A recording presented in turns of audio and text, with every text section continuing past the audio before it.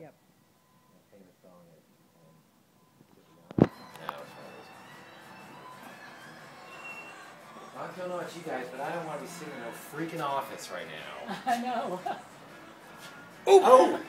Now he's got to go.